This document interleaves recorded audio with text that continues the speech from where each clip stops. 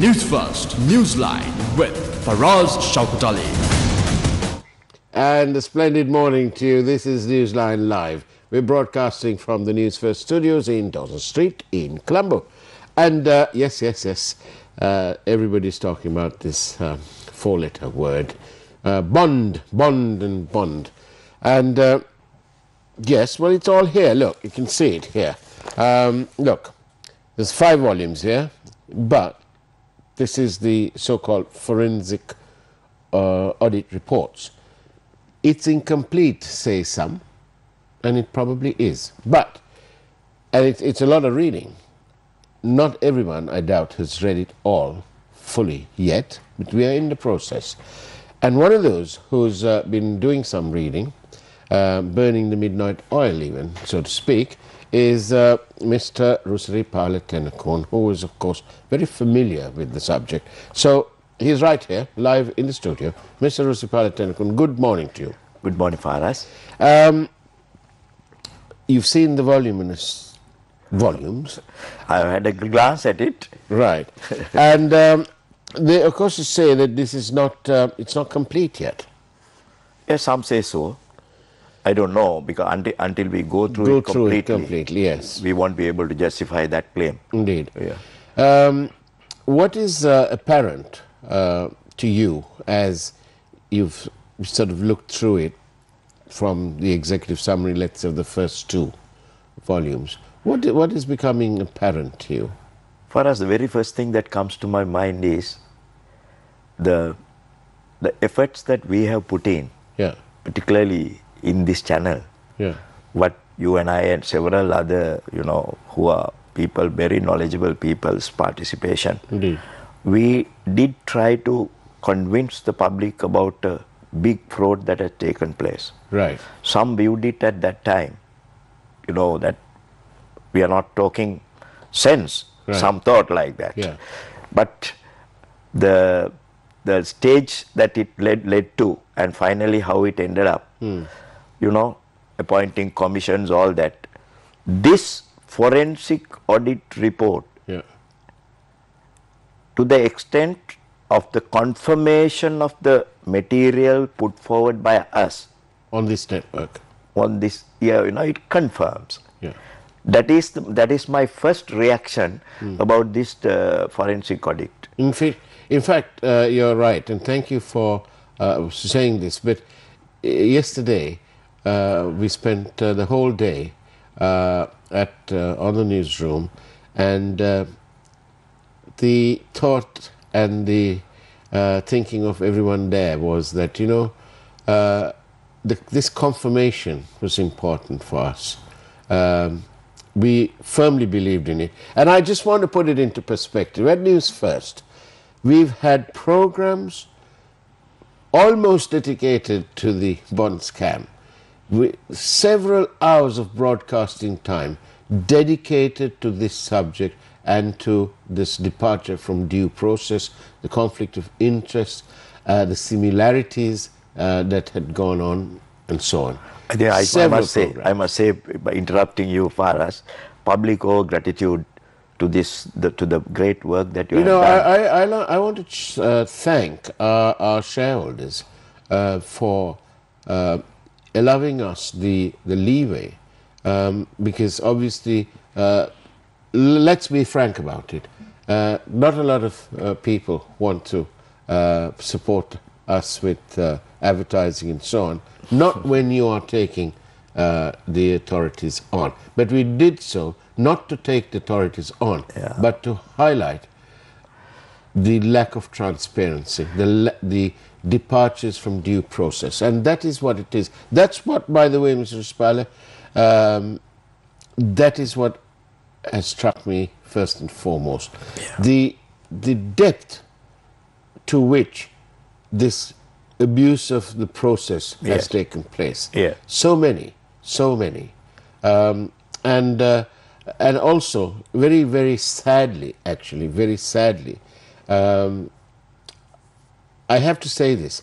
The late Joan Munisinger always told me in meetings that we had, even on air, she always said that it is we, meet, we need to look at the actions of the officials of the central bank as well. She always maintained that because he, she said, probably quite rightly, that you couldn't just have one man doing all this.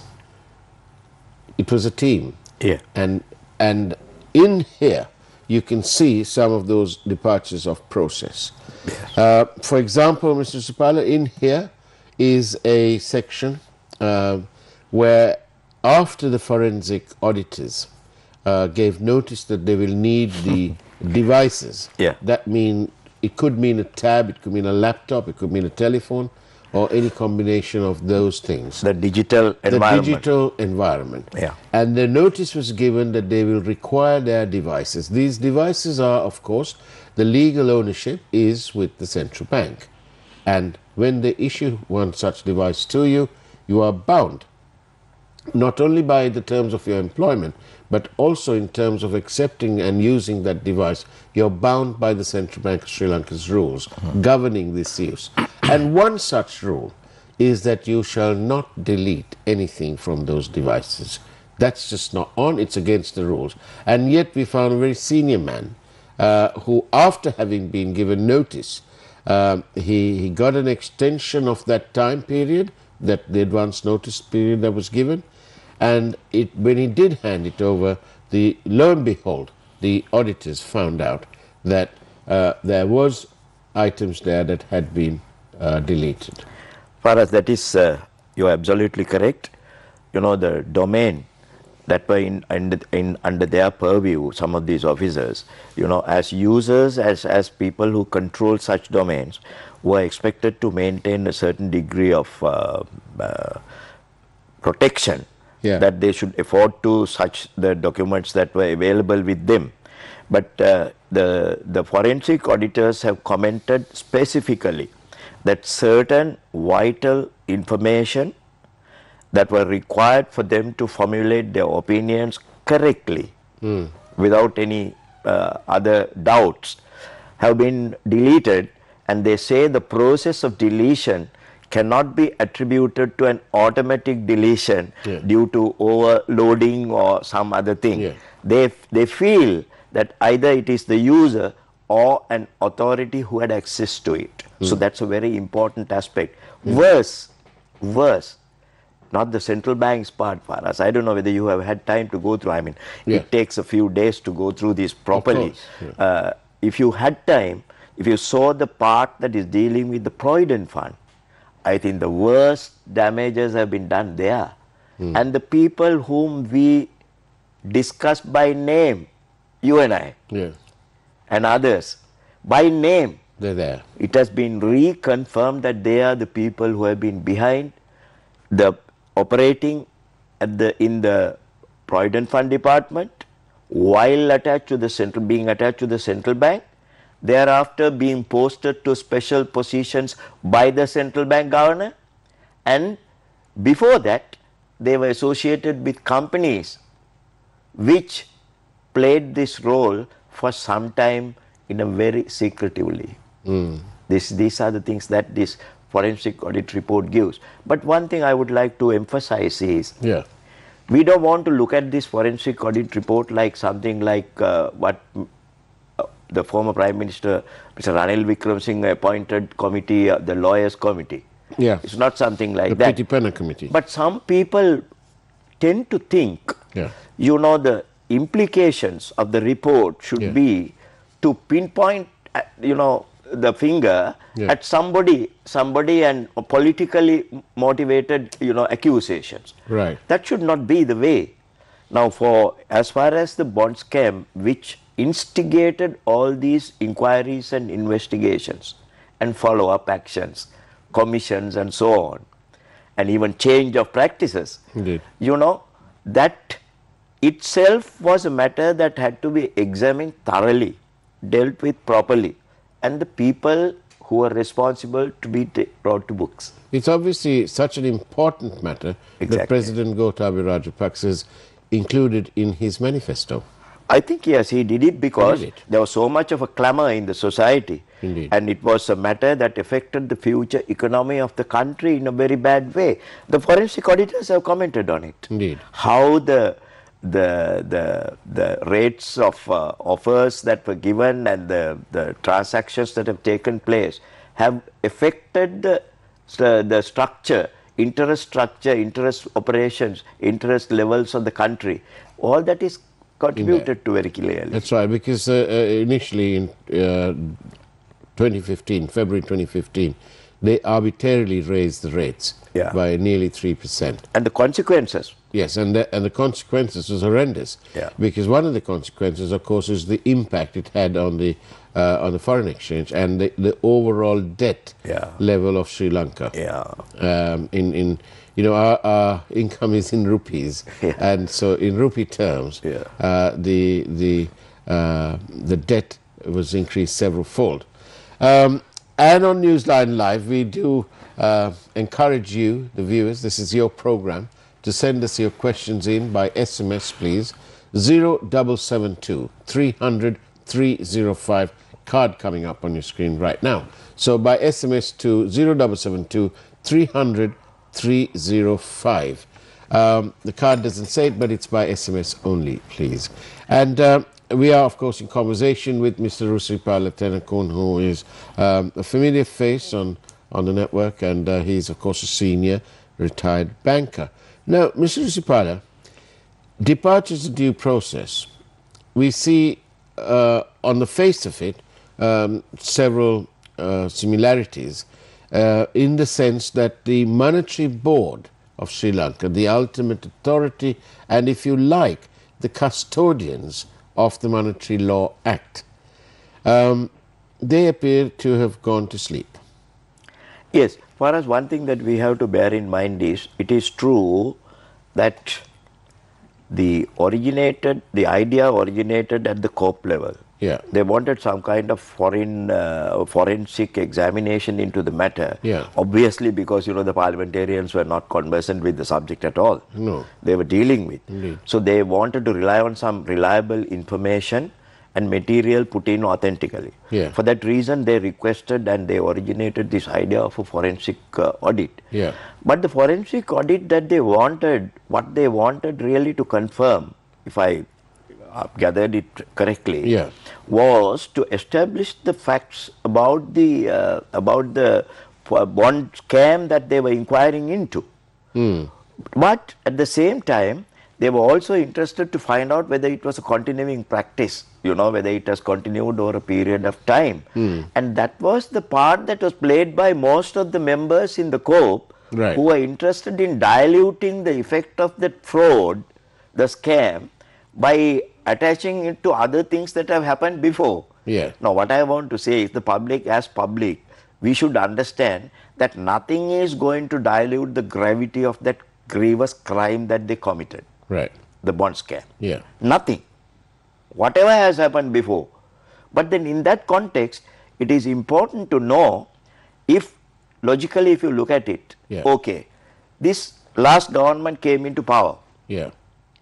If they knew that there was a practice that was going in the central bank which was bad, Which the Prime Minister didn't allude, he openly said it. he he admitted and he said he wants to change the systems because of the, Because did of he, that- of did that, he instigate any action to inquire into it until the bond matter came up, until the scam was uh, highlighted? I mean, this is where the mistake is. So, what it concludes is if there have been any lapses or shortages or even say corrupt activity, Yeah. they were trying to cash in on the situation Instead of correcting this. instead of correcting it. That is the that is my approach to this whole thing. Therefore, if anybody is trying to dilute the effect of the gravest crime, heinous crime that they committed hmm. to the country with so much of future consequences. Today, the country, I think uh, President Gotabaya Rajapaksa can do very little in this context. Very little. Yeah. He has enough plans. He has enough. Uh, but he can but he can oversee Yeah. uh, the balanced inquiry and prosecution of He can, that's only one part. But see where, where he has got stuck because of the wrongdoings of these people in the past. Yeah. He has got stuck in a place where he can't move forward easily. Not that easily.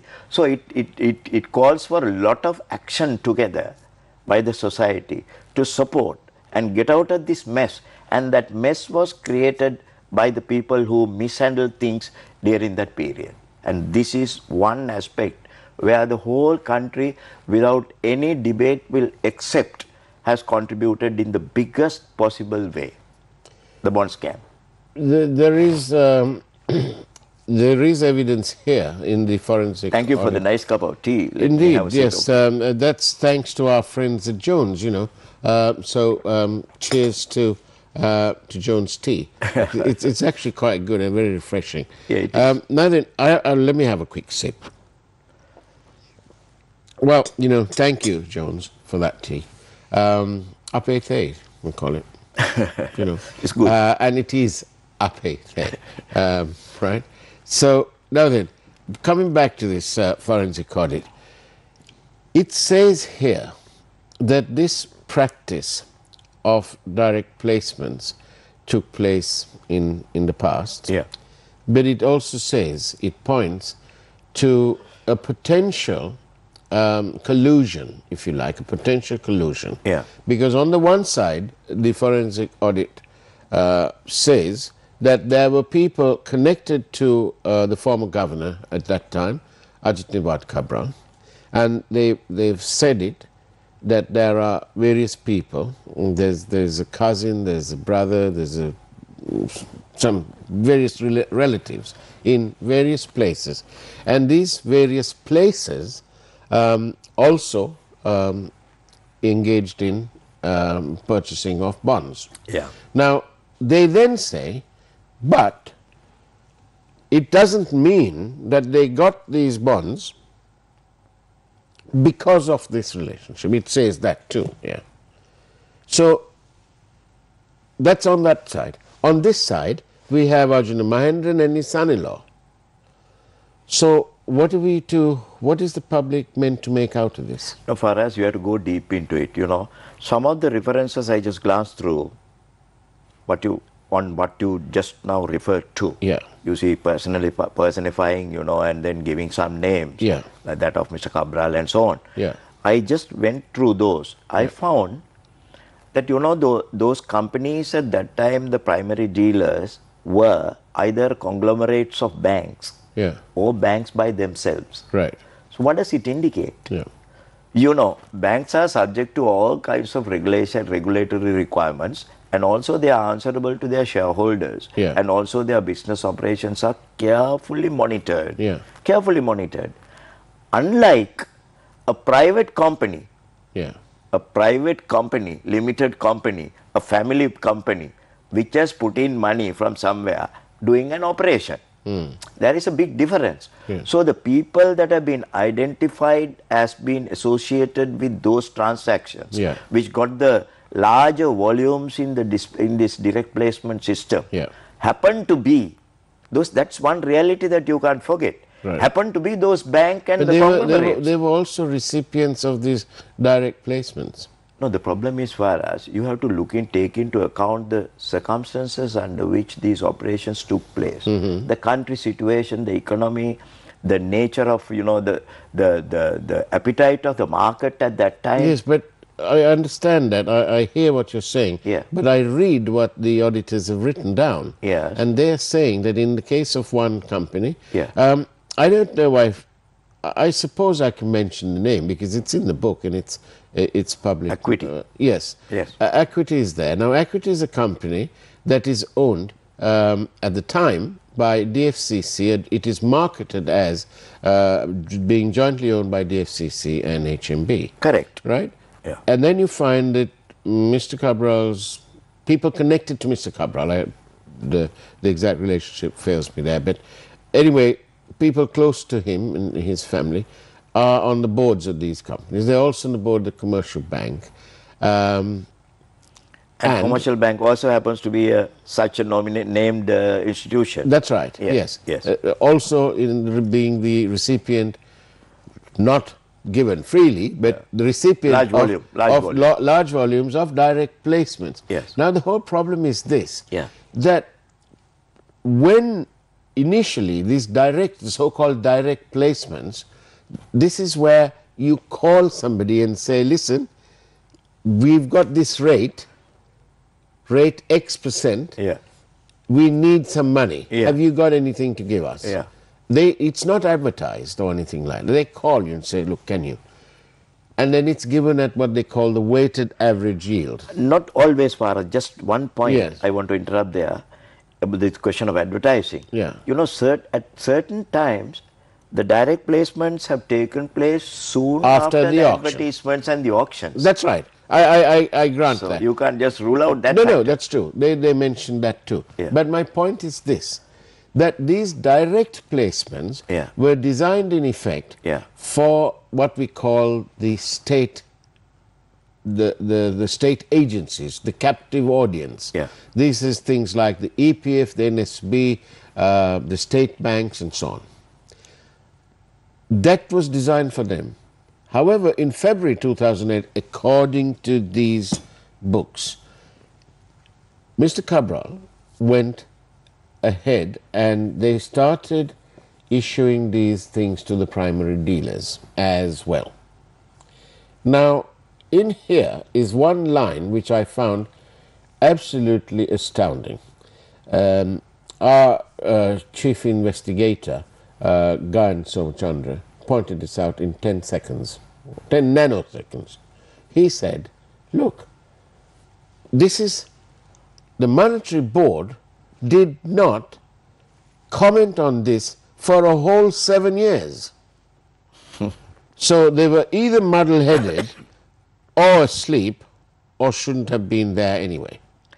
I mean, far as I don't think. I don't know, but that's how it appears now. I don't know what the circumstances was and all that. I won't disagree with that comment that is made by your colleague. You know, it's a very valid comment. But let him be reminded of the fact that when Mr. Ranil Wickremesinghe changed this pattern on his own and gave directives for the governor appointed by him Yeah. to resort to a certain practice.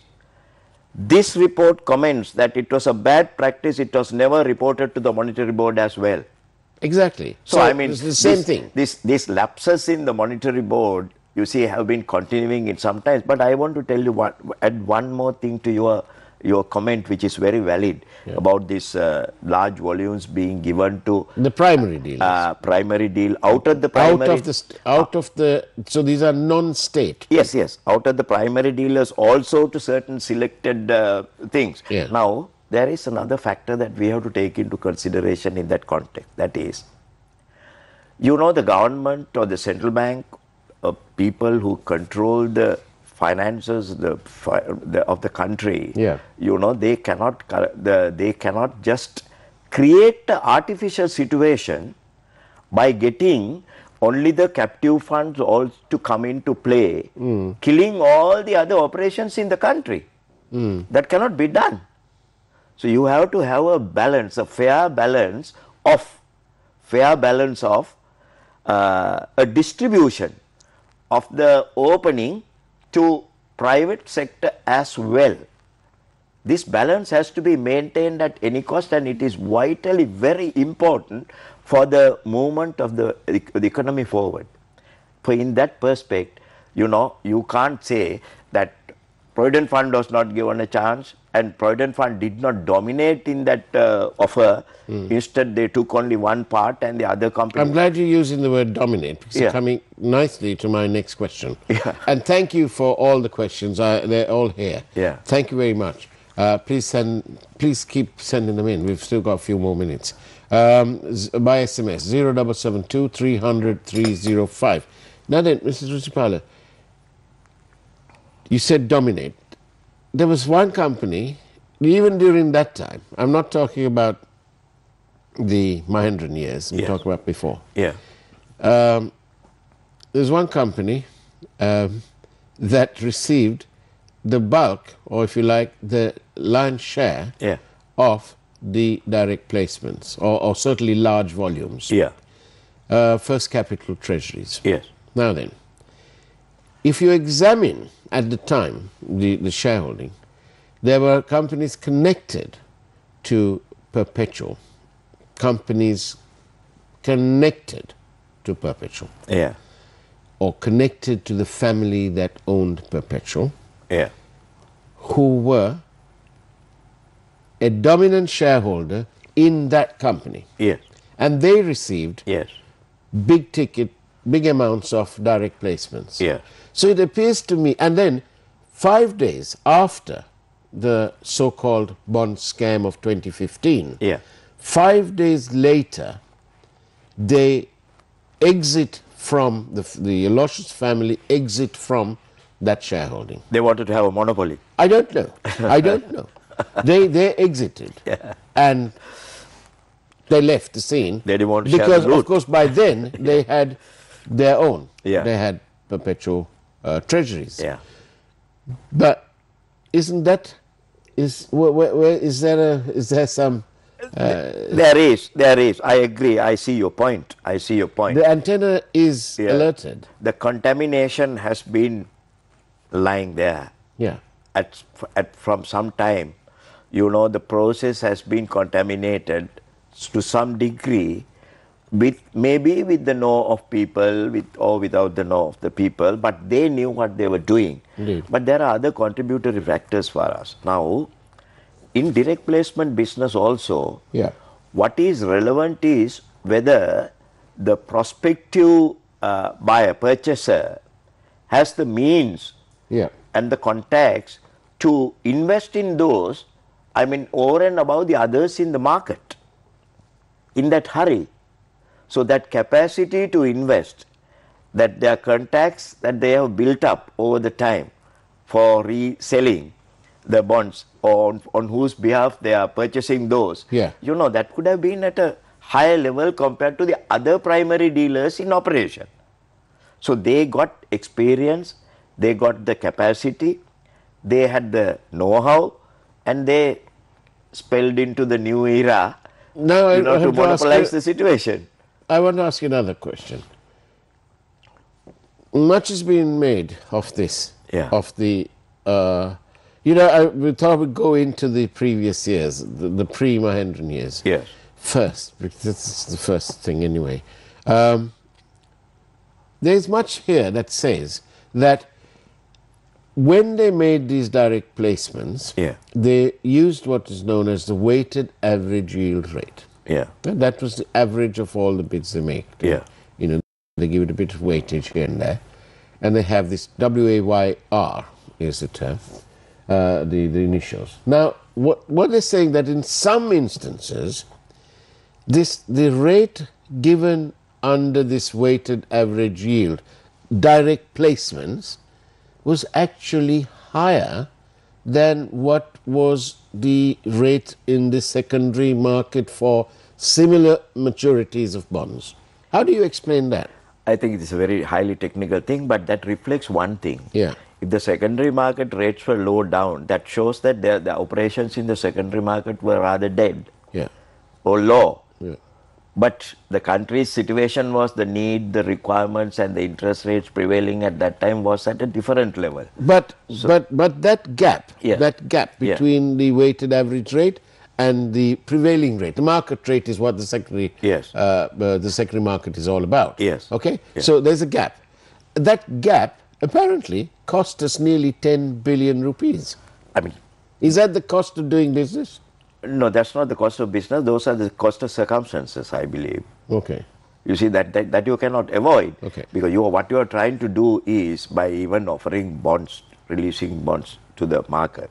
You know what you are doing. That then leads me to. I, I get your point. Yeah. I get your point. Yeah. The circumstances, we needed the money. We, we needed the money. There was no appetite for this thing in the secondary market. We, we can't raise money from there. Yeah. So we had to issue new bonds at a higher rate Yeah. to, to get the appetite. Right, okay, get it. But then what, what, what about the difference? It's 10 billion. Um, it is uh, it's a remarkably um, lot of money, or is it not a lot of money? That's a hypothetically calculated amount, you know. That's not a loss that is caused like the loss that was caused in the in the bond scam. Right. You know, it it is going to somebody else's gain. What What is the difference? No, the difference is there. You create an artificial rate Yeah, to the bonds that you are offering, yeah. you know, by giving pre uh, uh, information beforehand, and then you get that going. In this case, it was not like that. Yeah. You you offer the volume at a certain rate, Yeah. and it is left to the people who take, Right. you know, to that uh, deal with that uh, once it once they take it. But doesn't this system open the door ever so slightly, even ever so slightly, for uh, No, the department- similarity. You can't draw similarity between what happened during the bond scam and that step.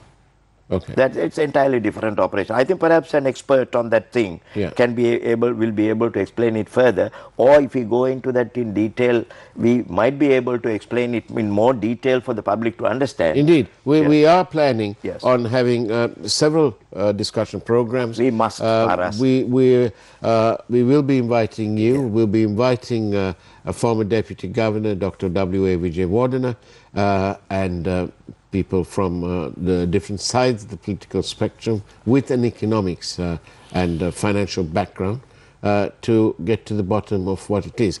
Several messages here have got the same theme. Yeah. They're asking you whether the people of Sri Lanka will be able to recover any of these monies. We have to. I think it will be one of the tasks of uh, President Gotabaya Rajapaksa to go into these things not in that mighty advertised hurry, but he is doing things in a very calculated way as it goes.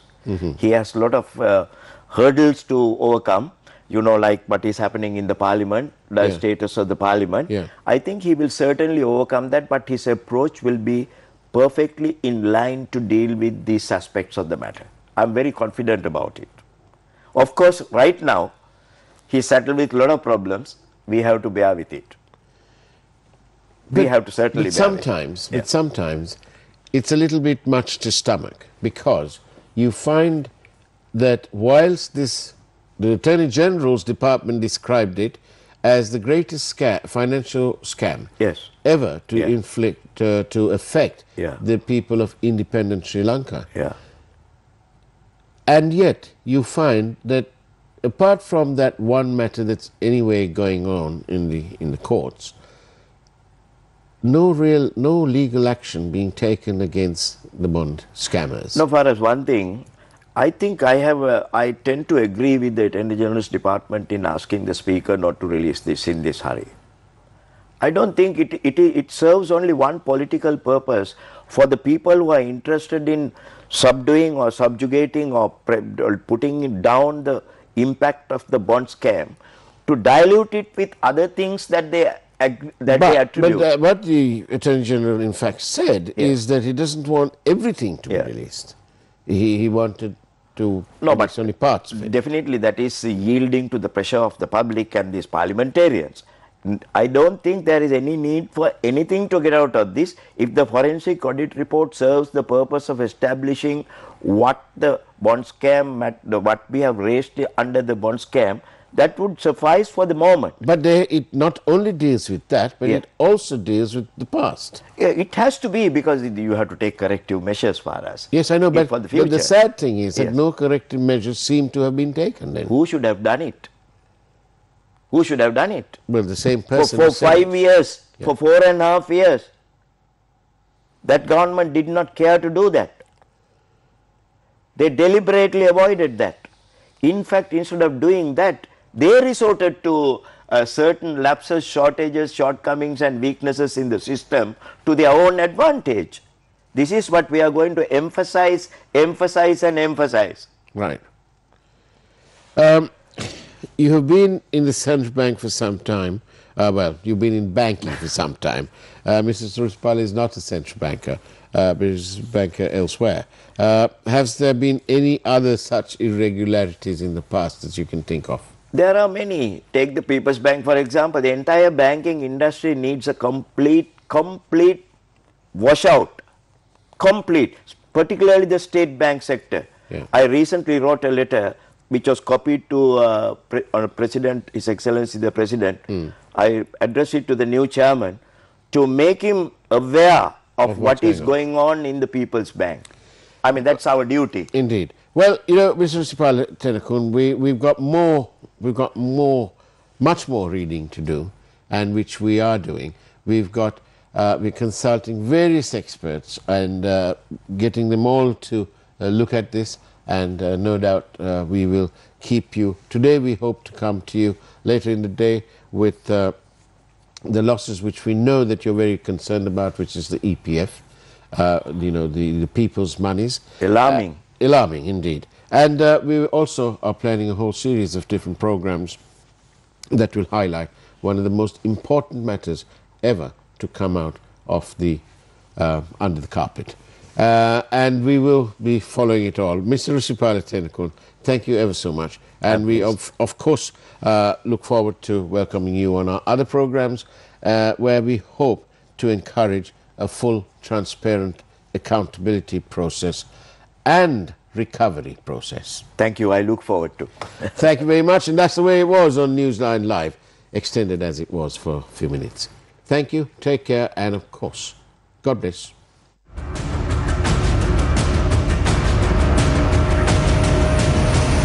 News First, Newsline with Faraz Shauketaly.